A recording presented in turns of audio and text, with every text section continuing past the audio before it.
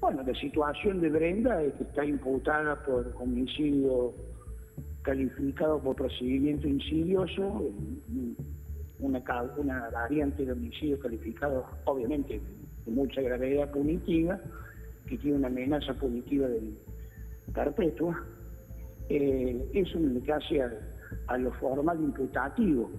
Y, como usted sabrá, está detenida eh, con decreto de detención y aún no ha sido indagada, lo cual nos preocupa porque es a partir de la, indagatoria que se produce el conocimiento de las razones, de los motivos, de los fundamentos, en definitiva de las pruebas, por qué se la acusa y por qué se la detiene.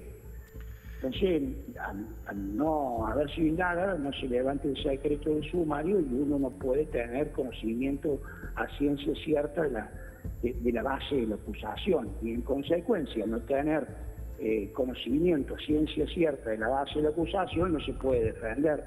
No se puede defender alguien de lo que no sabe o no conoce.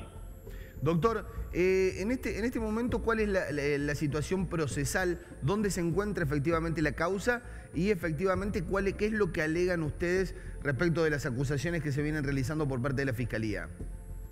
No, bueno, es que no, es que no podemos alegar mucho más allá de, pedir, de solicitar que se la indague, porque le vuelvo a repetir. Claro, claro, el claro. Punto, El, punto iniciático, originario de una defensa, eh, se inicia con la con la declaración indagatoria. ¿Y por qué no se la indaga todavía? ¿Por qué no, no se la indaga? Bueno, nosotros entendemos que si bien, que si bien eh, la complejidad de la causa eh, la, particularidad de la causa muchas veces impide indagar en los términos que la ley establece, que son 24 horas del momento de la detención o 48 horas lo sumo, no se cumplan a rajatabla, lo cual no significa que no nos entremos a preocupar cuando ya está transcurriendo una semana de detención y no tenemos fijada la fecha indagatoria. Esto, no es algo frecuente, doctor, esto no es algo frecuente, no es algo además que esté contemplado dentro de los mecanismos tradicionales eh, eh, en lo que tiene que ver con la instrucción eh, o, una causa. En Córdoba lamentablemente frecuente que, se indague tardíamente a la, gente, a las personas, es, es frecuente.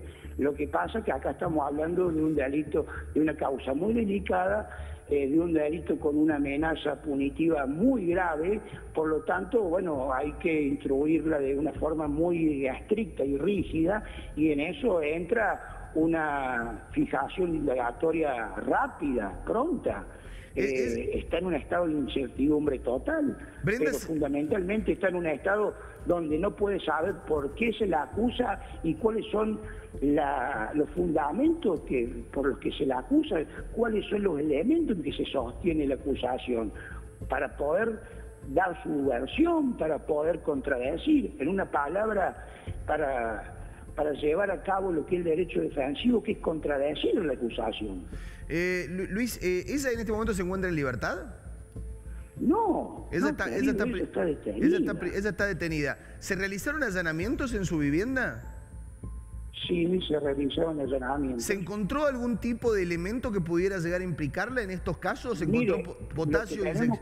mire, lo que tenemos conocimiento nosotros lo que tenemos conocimiento nosotros siempre en el marco de lo extraoficial, porque le vuelvo a repetir, no conocemos la causa. Claro.